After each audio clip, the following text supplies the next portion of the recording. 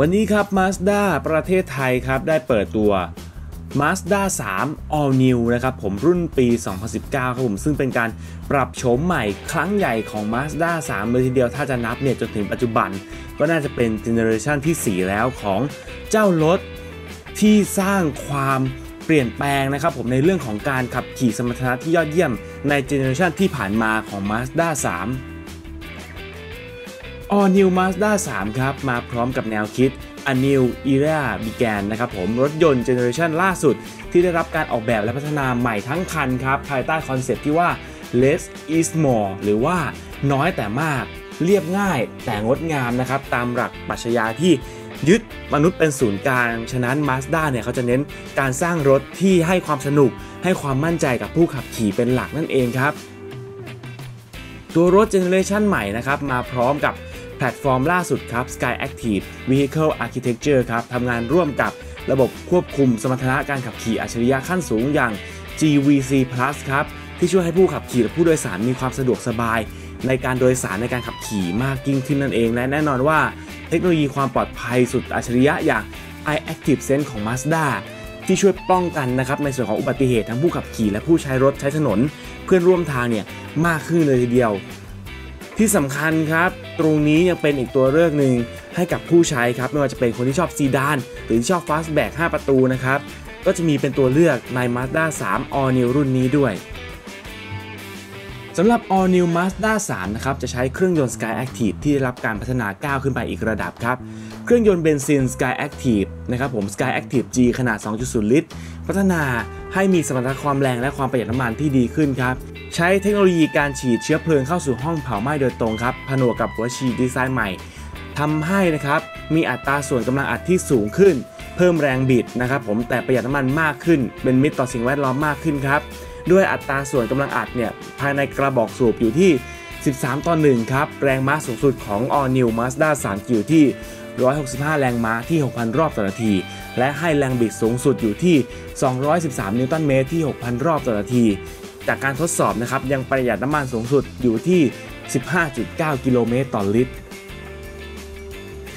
ส่วน Sky Active Vehicle Architecture นะครับได้รับพัฒนา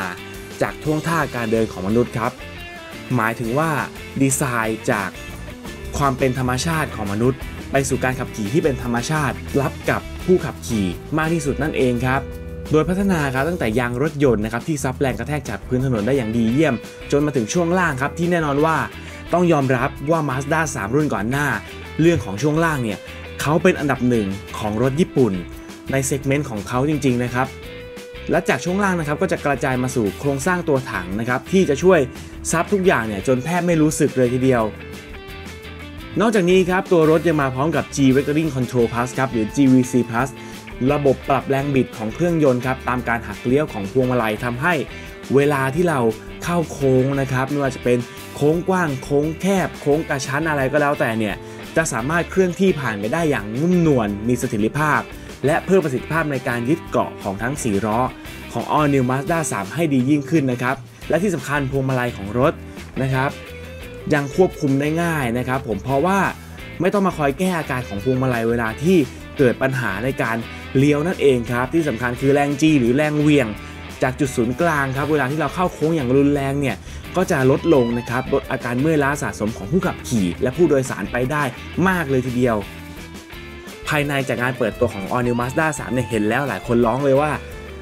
งานประกอบเนี่ยด้อยกว่ารถยุโรปแค่นิดเดียวนะครับผมถ้าเทียบกับ BMW Series 3 ตัวใหม่ นิดเดียวเท่านั้นจริงๆครับ มีความเป็นรถยุโรปมากๆ ถ้าคุณไม่เคยรู้มาก่อนว่า Mazda 3 คันนี้เป็นรถญี่ปุ่น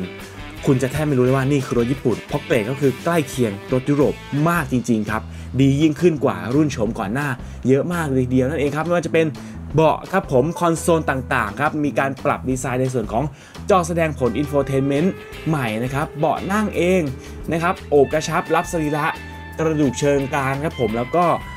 รับกระดูกของแนวสันหลังครับให้คงรูปตัว S เช่นเดียวกับในขณะเดินแบบที่เราบอกไปในตอนต้นว่า เหมือนกับสรีระของคนในการใช้ชีวิตนั่นเองนะครับ ผมทำให้เรานั่งขับขี่ได้อย่างเป็นธรรมชาติ และสมดุลลดการเมื่อยล้านะครับเบาะฝั่งคนขับครับผมก็จะปรับไฟฟ้าได้10ทิศทางนะฮะพร้อมกับบันทึกนะครับตำแหน่งเบาะนั่งได้ 2ตำแหน่งครับแผงหน้าปัดเป็นมาตรวัดแบบดิจิตอล TFT LCD ครับจอแสดงข้อมูล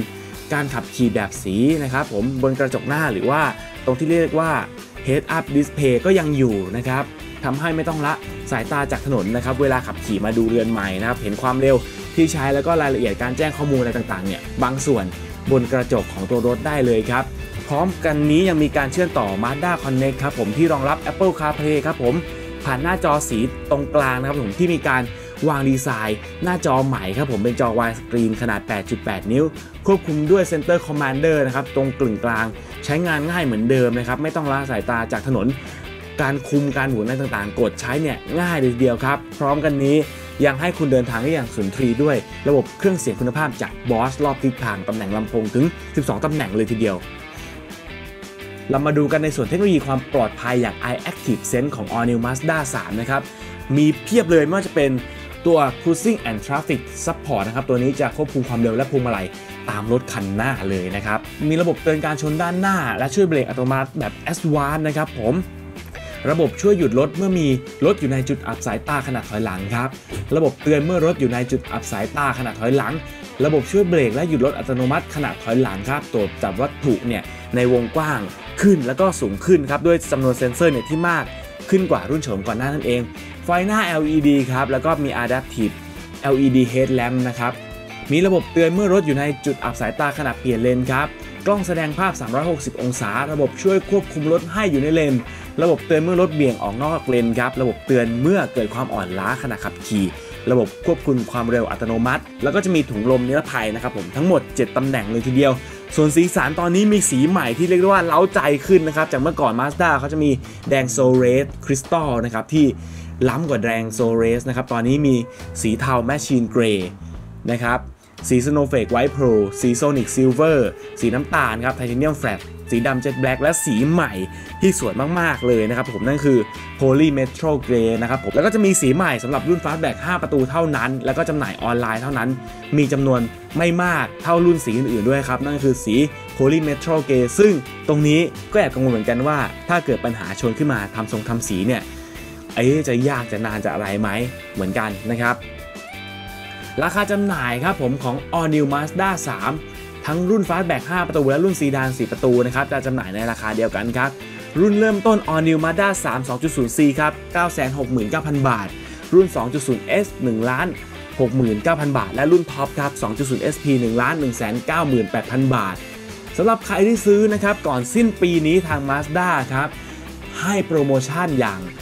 ฟรีนะครับ ค่าแรงเช็คระยะ 5ปี หรือ 1 0 0 0 0 0 กิโลเมตร ขยายการรับประกันคุณภาพตัวรถเป็น 5 ปี หรือ 1 5 0 0 0 0 กิโลเมตร พร้อมประกันภัยชั้น 1 ฟรีฟรีไปเลยครับ ยังไงก็ลองไปดูที่ตัวแทนจำหน่ายใกล้บ้านท่านนะครับ ใครที่ได้ขับ ใครที่ได้ขี่แล้ว มาคอมเมนต์คุยกันหน่อยดีกว่าว่าเป็นยังไงนะครับ เราเองต้องบอกเลยว่า